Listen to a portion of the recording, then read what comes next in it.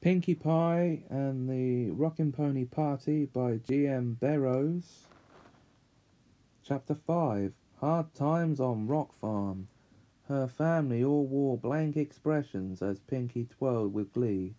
It was obvious that Ignatius Rock had dealt with Pinkie's exhausting energy many times before. He stood patiently for a while, waiting for her to calm down but soon he grew tired of the act. All right now, he said. That's enough. But Pinkie was too excited to notice his disapproval. Meanwhile, Twilight, Applejack, Fluttershy, Rainbow Dash, and Rarity stood close by. They'd heard a lot about Pinkie's days growing up on the rock farm, but they'd never met Pinkie's family before. Some of the other party-going ponies started to gather round, too. They were also curious to learn more about the relations of the most popular pony in town.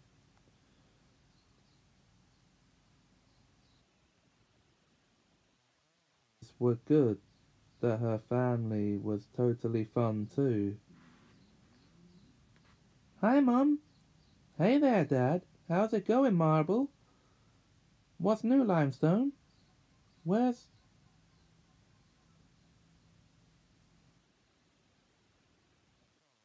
Hi, Mum. Hey there, Dad. How's it going, Marble? What's new, Limestone? Where's...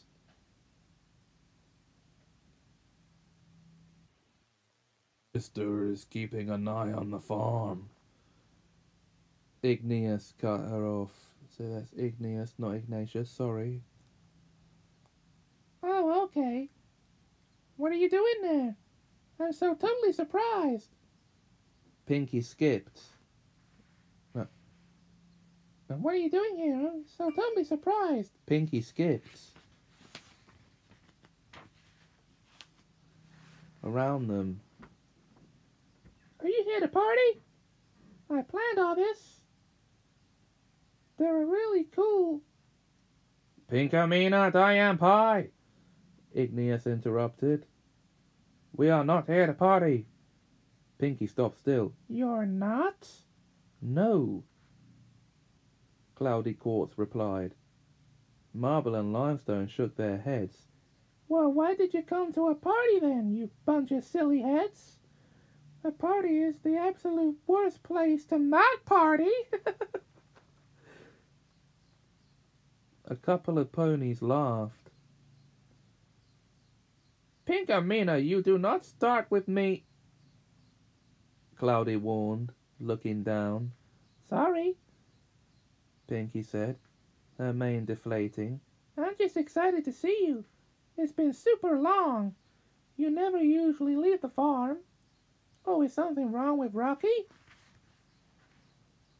Who's Rocky? Cloudy asked. Rocky's my pet rock, Mom.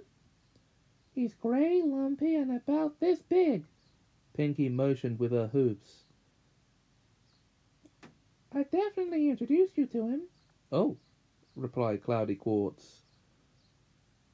Anyway, I only left him but Anyway, I only left him back at the farm because he said he'd miss all of his rock buddies. Pinkie explained to her friends. She turned back to her parents. Marble and Limey promised to look after him. Marble Pie's face remained blank. Limestone Pie blinked. Igneous cleared his throat and started to pace back and forth across the grass.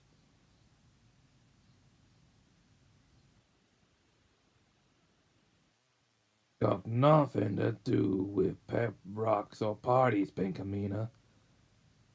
Well, why are you guys in Ponyville then, Dad? Huh? Huh? Huh? Pinkie looked at the faces of her family, but couldn't read them all. Couldn't read them at all. Ooh, let me guess. Are we going on a family holiday to Appaloosa? Or, I know, I know. You came to bring me some of Granny Pie's scrumptious rock cakes? No, that's not it. Okay, I give up. Tell me. Pinkie's eyes were practically popping out of her head with excitement. Your mother, sisters, and I are here for a very important reason, Igneous began. Pinkie frowned. Whatever it was, it didn't sound fun at all.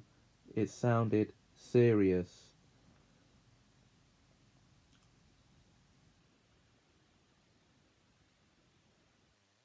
Word got round that you are friends with.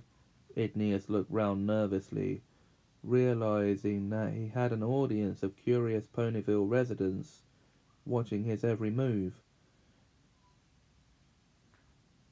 We heard that you might know. Igneous puffed up his chest and finally announced, We are here to see Her Royal Highness Princess Twilight Sparkle regarding an urgent business matter. We need to see the princess, Cloudy said. The sisters nodded in unison. Pinkie's face dropped. You're not here to party or to see me? I'm sorry, but we have to talk to the princess and then get back to the farm right away. I'm sorry, but we have to talk to the princess and get back to the farm right away. Cloudy replied. We don't have time for any of this party nonsense. Oh, I see. Pinkie sighed.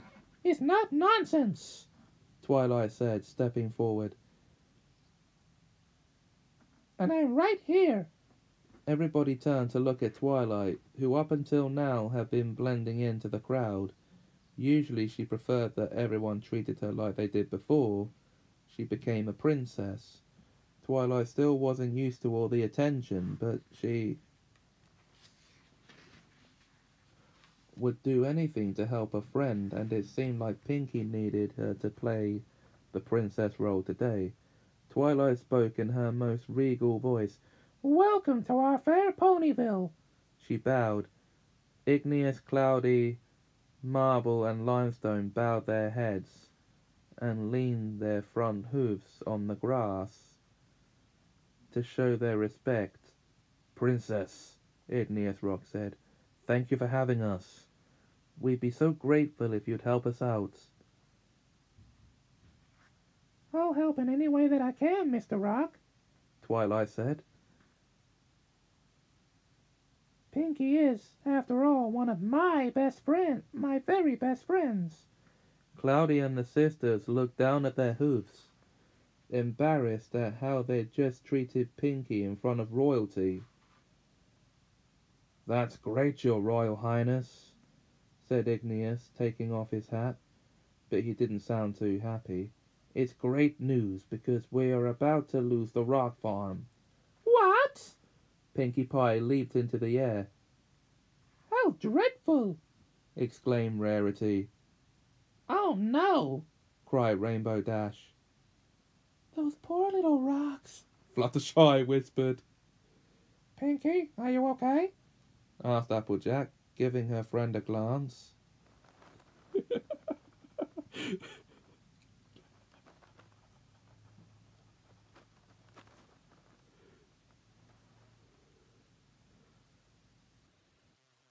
were white with terror, and she stood frozen to the spot. Fluttershy and Rarity looked concerned. Somebody poke her, said Rarity.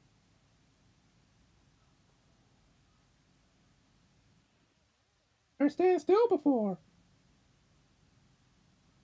I've never seen her stand, stand still before. Spike ran over and gave her a gentle nudge. Uh, you okay, Pinkie? Pinkie looked up, her face still full, her face full of sadness. Everybody go home, she said. This party is over. Everyone gasped. No one ever expected to hear Pinkie Pie say such a thing.